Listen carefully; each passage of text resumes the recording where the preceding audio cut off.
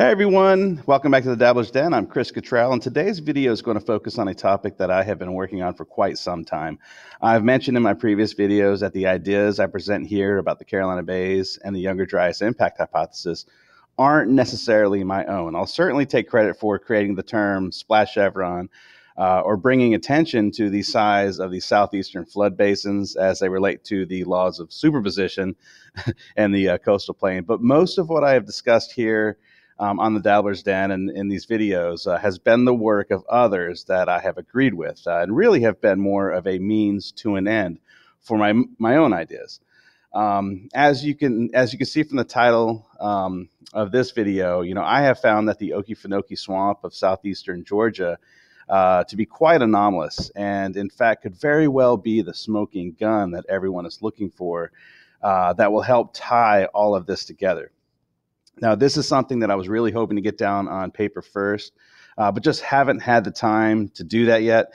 And uh, I've realized that just sitting on it quietly right now won't do anyone any good. So, um, you know, and, and really sometimes timing is, is everything. You know, just within the past month, um, or at least at the time of this recording, anyways, Graham Hancock uh, came out with his book titled America Before in support of Antonio Zamora's work on the Carolina Bays, uh, which really has the potential to be huge for this topic. Um, I've been supporting Zamora and his work from the very beginning. Uh, it's actually one of the reasons why I started this series on the Carolina Bays in the first place. So having his work highlighted in a top 10 bestseller can only help. Um, a few weeks ago, I also sat down with the guys from the Seven Ages Audio Journal while up at the uh, White Pond Archaeological Dig uh, and d- discussed my work here on YouTube and off of YouTube. Um, and you can actually catch that interview by clicking on the link above or going uh, through their website in the description below. Um, I've also had the opportunity to talk with both Michael Davias and George Howard on the phone recently, uh, and it was actually George who helped me decide to go ahead and and, and put this information that I've been sitting on uh, out there, you know, to to you know just get it out there. You know, sometimes you just have to strike while the iron is hot and then sort out the rest later. And the iron is hot right now. Uh, so so let's go ahead and talk about the Carolina Bays and the Okefenokee Swamp. Okay, so what do we know about the land of trembling earth? Uh, well, first of all, it's the it's North America's largest swamp, occupying over 700 square miles. Uh, this gigantic wetland contains huge tracts of cypress forest, uh, wet, uh, open wet prairies, scrub forests, um, open lakes, and small upland islands. Uh, the Okefenokee is located in southeast Georgia, only about an hour west of the coast where I live, uh, and actually just or just beyond the reach of, of some of the uh, really large Carolina bays. Um, along its eastern border lies a massive ridge of sand known as Trail Ridge. Uh, this ridge is what remains of a 130 mile long barrier island that existed when the seas were much, much higher, um, about 100, uh, I'm sorry, 1.8 million years ago. Uh, and behind this island, this massive island, was likely a very large salt marsh, uh, which provided the impermeable clay bottom of the now Okefenokee.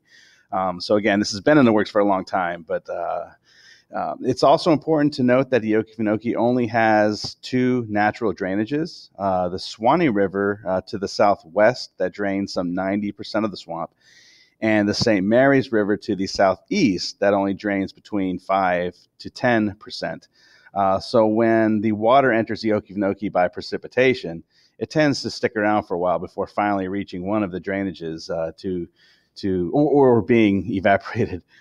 Um, now, the most fascinating aspect about any of this uh, is that the oldest peat collected has only been dated to around six or 7,000 years ago. Um, so the Okefenokee is a very young geologic formation. The swamp itself definitely formed within the Holocene, and that's going to be very, very important for what I'm about to talk about.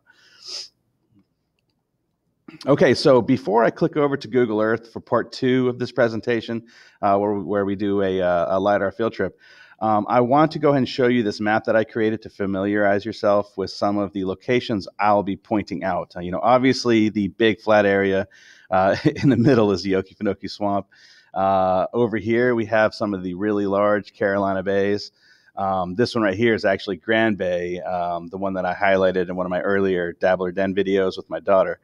Um, we have the Suwannee River right here. Again, this is the main drainage of the Okefenokee Swamp, as well as the St. Mary's River over here, uh, down here in the southeast corner, uh, which is a minor drainage, but still a very, very important one.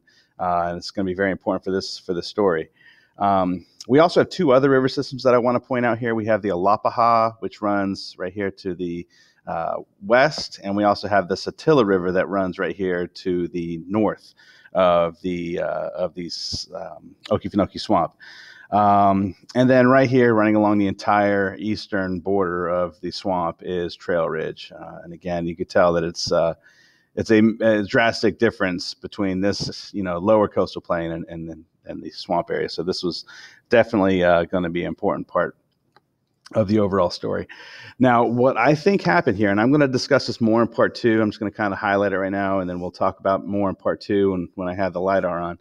Um, but what I think happened is uh, after the initial impact into the Laurentide ice sheet, way up in the Michigan area, um, the huge chunks of ice, as well as all the small pieces of ice, and, and you know just completely covering the eastern portion of the U.S. Uh, as well as to the west um, you know, that created the Nebraska rainwater basins. Um, but all of these, um, all this ice came down. Uh, immediately following this, we, we likely had you know torrential rainfalls. Um, this ice started to melt, uh, and again, this was all very shortly after the initial impact and the secondary impacts of the huge ice chunks that would have came down afterwards. Um, all of that water had to go somewhere, and it starts to to collect and drain in these small tributaries up in the Piedmont. Uh, once it hits the fall line, uh, it really starts to erode and take away and uh, cut these these very large um, drainage basins again that I've discussed in some of my earlier videos.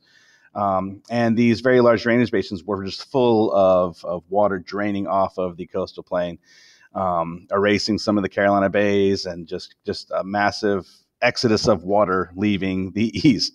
Uh, now, if you notice again, we have a major drainage here, the Alapaha, and we have a major drainage to the north. There's no drainages here at the time. Um, I do think that the Trail Ridge um, came across right here, and the St. Mary's River wasn't a thing yet, um, you know, before this event.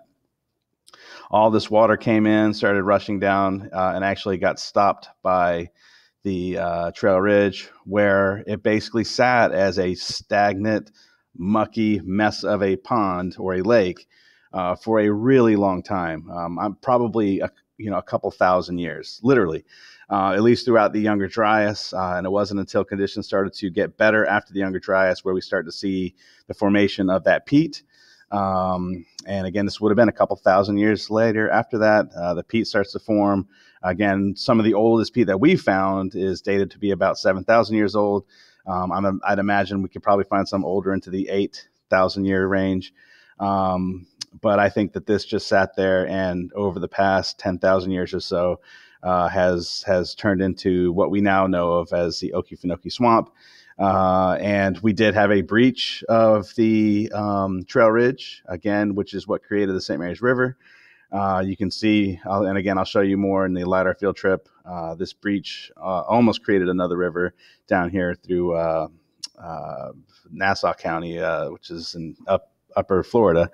but instead, it, it, went to the north and then out to the sea, creating the St. Mary's River. So, anyways, um, and, and, something interesting about this this lake that would have been here, and this is something again I, I don't want to spend a lot of time on. Um, uh, but something I've noticed over and over and over again is when we look at the very earliest maps of the East Coast, uh, which are it's it's been known that these maps were were often um, taken from older maps, uh, older, older source maps, uh, but they all included this very large body of water in the Georgia area.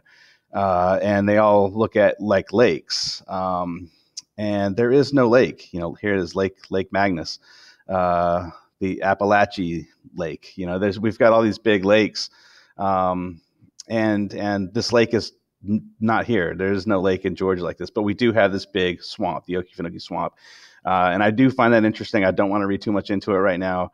Uh, but I wanted to mention it. And guys, when we come back for part two, we will get into the LiDAR field trip and uh, actually look at Google Earth and uh, and and see if we can can peg this down a little bit a little bit more securely.